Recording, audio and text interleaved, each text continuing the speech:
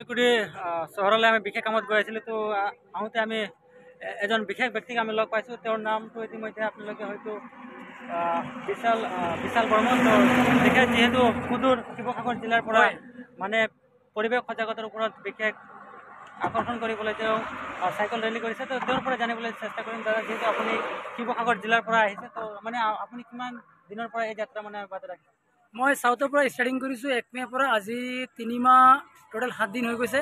Twenty two state complete কৰিছোঁ আৰু এতিয়া ওদালগুৰি ডিষ্ট্ৰিক্টত আছোঁ। আৰু থকা মেলা ব্যৱস্থাটো অলপ অসুবিধা হয় খোৱা বোৱাটো অসুবিধা হয় আৰু ৰাস্তা ঘাটত এইটো চলি থাকে আৰু। এতিয়া টুৱেণ্টি টু ষ্টেট কমপ্লিট কৰি হৈ গ'ল এতিয়া ঘৰত বৰ্তমান একমাহ থাকিম তাৰপিছত আৰু যোনটো মোৰ ছটা ষ্টেট বাকী আছে সেইটো কমপ্লিট কৰিম। আৰু মেইন উদ্দেশ্য কি যে বাতাবৰণৰ কাৰণে মই ওলাই আহিছোঁ। গছ গছনি লগাব লাগে আৰু যে এনেকৈ জেগা মই গৈছিলোঁ লে লাডাখ কাৰ্ডুংলা তাত গছ গছনি জিৰ' তাত অক্সিজেনৰ কাৰণে বহুত অসুবিধা হয়। দাদা যিহেতু আপুনি নৱপ্ৰজন্মৰ কাৰণে কি ক'ব? যিহেতু পৰিৱেশ সজাগতা আমাৰ অতি প্ৰয়োজন হৈছে। পৰিৱেশ. সজাগতা আমি কৰিবই লাগিব? য়েছ কৰিব লাগে কৰিব লাগে কৰিব লাগে। যিহেতু দাদাৰ নিজে যুগুত হ'ব লাগিব আৰু কৰিব লাগিব ভাই। যিহেতু দাদাৰ ইউটিউব চেনেল আছে। মই এইটো চাব পাৰে। চাব আপোনালোকে চাব পাৰে চাওক ইউটিউব চেনেলৰ নাম।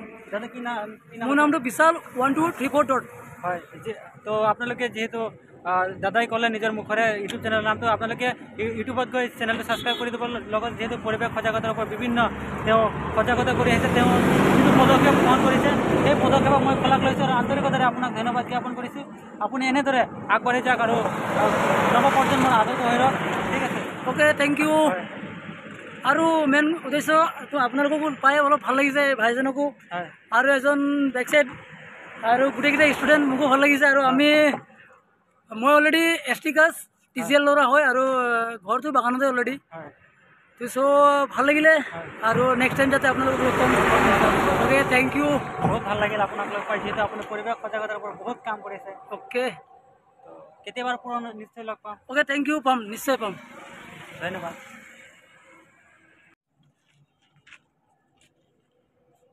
ডান ডান ঠিক আছে